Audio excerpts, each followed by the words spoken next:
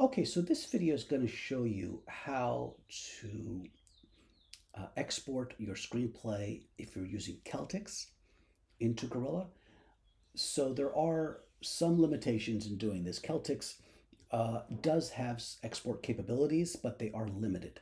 Uh, in general, this is why we do recommend Final Draft or Movie Magic Screenwriter, as those are truly program screenplay programs written for the professional screenwriter and for the industry, as is Gorilla.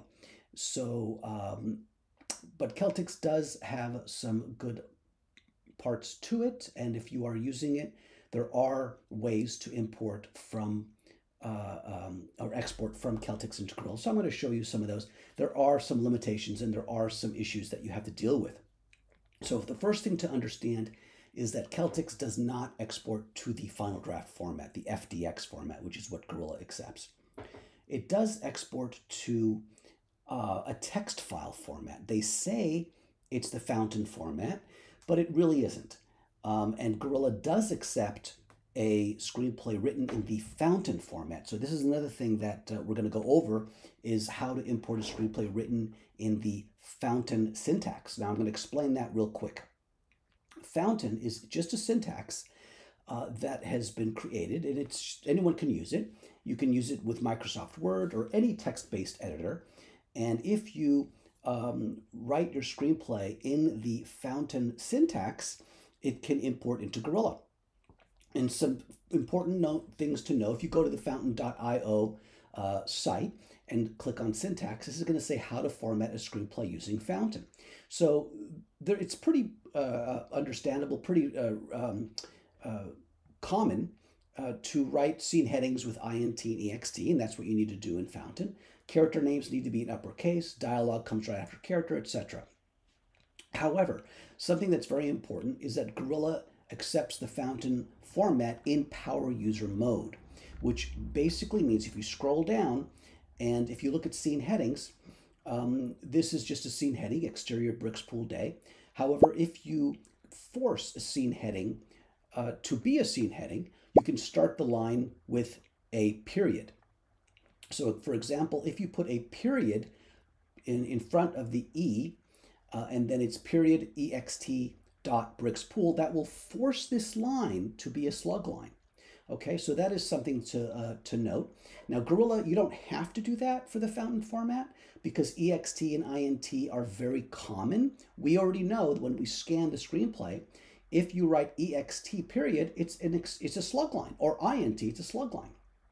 Okay, however, when you come to, to characters, this is where the power user mode needs to, to uh, come in. So if I scroll down a bit here to, I'm going to pass action, go to character. Um, in power user mode, when you write your screenplay in Fountain, you need to put an at sign. And notice down here, there's an at sign in front of the name of the character. And then here's the dialogue.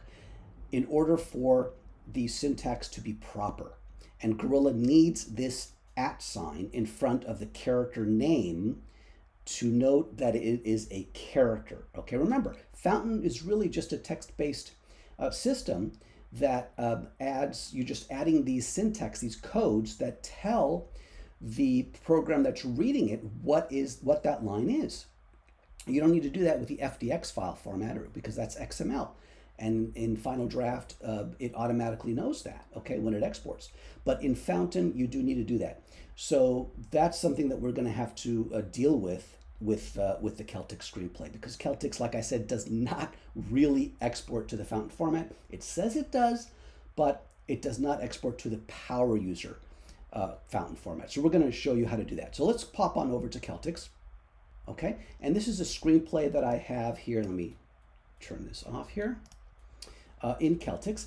And uh, you can see it's formatted fairly nicely. You've got your slug line with EXT period, EXT period, and then of the set and then the time of day, which is very important. You need to watch some of our videos on how to format a screenplay. And then if we scroll down a bit, we're going to notice that with the first dialogue or the first character is chubby. Now notice that um, there is an at sign. Now I put that here, okay? By default, if you type in the name and name of the character, it's not going to be there. Here's the first character actually right here, Barney. there's an at sign. So when you're creating your screenplay in in uh, uh, Celtx, in order to export into the proper fountain format, you need to put an at sign in front of the name of the character. Okay, and you need to do that every time. Now, once you do that, however, once you um, you know type in the character name, you don't have to. It, will pop up, you know, in, in Celtx because so you just have to select it. But when you first initially create the character, it must have an at sign. Otherwise, the fountain format does not understand that this is a character. Okay, so notice here at sign.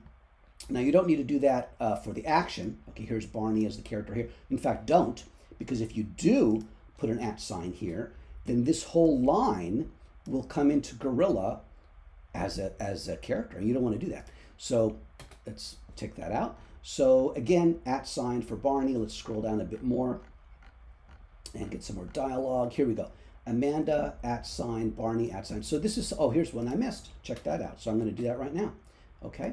And, oh, here's a couple more. So this is important that you do this when you format your screenplay in Celtx. Otherwise, the characters are not going to come in. All right, here's a few more that I didn't do. So let me just check, do those real quick.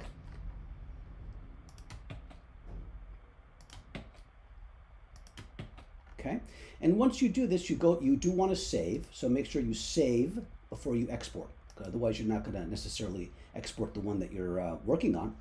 And then when you are ready to export, you click on File, Export. Now go ahead and select to Fountain, okay? And we're going to do that, and it's going to download a text file or a fountain file. You'll see it's dot fountain. I've done this a few times because this is number number six, as you can see. And if I go ahead and show in Finder, uh, here we go, number six. I've done this a few times to test it. So we're going to import this file into Gorilla. So let's go ahead and do that. So I'm going to pop on over to Gorilla, and I am going to create a new screenplay. I'm going to click on the Import Screenplay file uh, button. Click on the Celtx, which is really Fountain. It says Celtx, but it's the Fountain format, just like it says Final Draft and WriterDuet, but it's the FDX format up here, and this is the .scx. These are the three formats that Gorilla accepts. So in this case, we're going to export to Fountain. Now, you don't need Celtx to export to Fountain.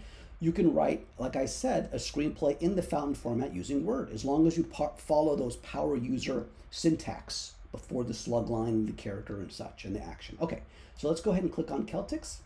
I'm going to type um, Fountain export. And click on import and I'm going to go ahead and find the uh, file in downloads which is where it downloaded by default. It was number six okay? And uh, you can't see the open button so let me see if I can scroll this over, uh, over a bit. Doesn't seem to want to make oh here we go. Okay so move that over. So you can see I now select the select button and we're going to go ahead and import this screenplay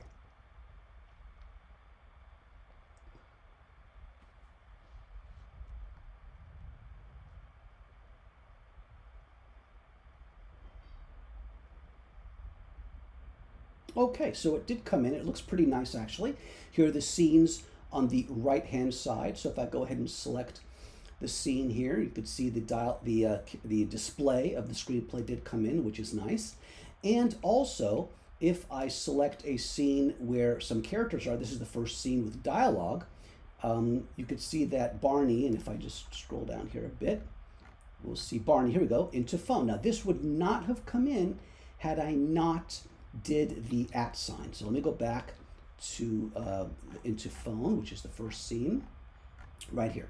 If I were not to do this, this character would not come in. So that's why this video is so important. If I click the cast members uh, category right here, you will see that here are the three characters, Barney, Amanda, and Chubby. And these are all characters that we had to add the at sign to to tell Celtx, or really to tell Fountain, really, because it exports into the Fountain format, that these are characters. And so if we go into elements and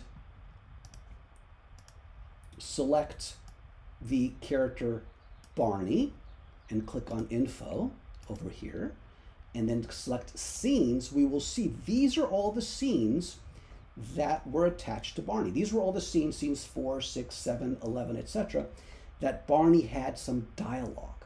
Okay, why? Because once again, we can go to scene 16 just to check it, right? We'll go back to Celtx and jump down to scene 16.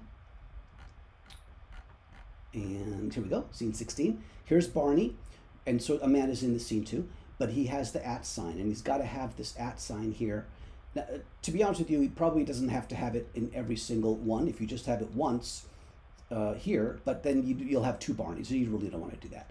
So as long as you have the at sign in front of the character, that character will import as a character. Okay. Now understand that we can also go ahead and add uh, information and characters here if they weren't uh, in, in Celtx, of course. So let's say, for example, if I go to scene two, now it doesn't, there's no characters here, but let's say in scene three, uh, for example, here, we enter through an open place to see a chubby man. Now notice that chubby man is chubby. That's who the character is.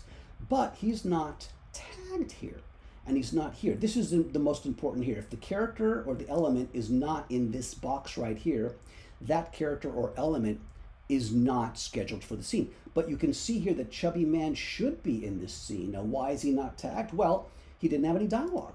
If I scroll down here, you can see there's no dialogue here for Chubby. And if I go to scene three in Celtx, um, same thing. There was no dialogue for Chubby here. You can see that.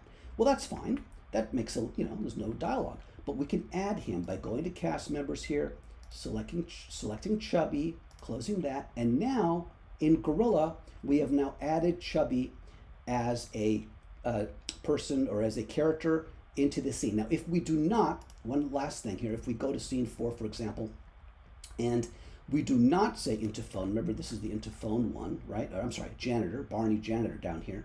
If we do not tag, and I'll, you know what? I'll just get rid of it. Let's do that. Let's delete it. And um, I just removed Barney from the scene. If I uh, did not do that, and if I go back to Celtx to scene four, and if uh, I did not do an at sign here, uh, he wouldn't have come into the scene. You don't have to worry about it too much because you can go to the scene here, just like we did with Chubby, and add the character as long as the character is here. If the character is not in the select element box, um, that means he, he or she wasn't tagged at all. And we could go down here, click the plus sign, and let's just add a new character here. Okay. Now, by default, Sophia will be added to this scene. Uh, of course, Sophia is not in this uh, scene, but uh, regardless, uh, this is how you do that. Okay, and go ahead and look at these uh, uh, at the um, video for how to number how to number the IDs. These are called board IDs. Notice Sophia doesn't have an ID, but there's a whole video here on how to go to elements and how to number them. Okay, notice that Sophia doesn't have a number. Okay, so that's basically how you import from Celtx into Gorilla. And very important to know the fountain format, the syntax of the fountain format. And the only one you really need to, to uh, pay attention to, like I said, is that at sign in front of the character. The interior, exterior norm came in just fine. The action came in just fine. The uh, screenplay information came in pretty nicely, actually. So it's just that at sign that unfortunately Celtx does not export into the fountain format. Again, they used to do that. I remember they used to do that. That's why we did the fountain format for Celtx. But for some reason, they took it out. So another really quick thing, uh, just because um, I wanted to mention this, and that is, let's go ahead and uh, show you um, how to, one second here, I'm going to go to a, a new window, go to downloads, and go to that um, Hotel Cucaracha right here. This is the one that we exported out of Celtx, right? If I were to open this in Word, okay, I'm to go ahead and, uh, a little tricky here, got to hit all applications and find Word. Let's see. Here we go. And open it. Now we'll give you this, you know, what is this? But anyway, if I click OK here and open it, notice that, and I'm to go down to the dialog of a character. Here we go. Here's Barney right there. Okay, and he's got the at sign. Same thing with Chubby, etc. So it is very possible that you can even go into Word and, and add the at sign as long as you do that here and then just save that as a text file. Okay, this is already uh, formatted sort of in the fountain format. Okay, so you can literally type your screenplay uh, in Word. Now, again, this is just uh, crap that comes in from Celtx, so it sort of a Gorilla ignores this, which is nice, but we can get rid of it too. But notice here the dot, dot ext. This is the proper formatting, right? Remember the power user with a dot here, okay? So that's how you do it. So understand uh, that you can export a screenplay from Celtx. You just have to do a little bit of work to get it in. And that's the end of the lesson. Thank you very much.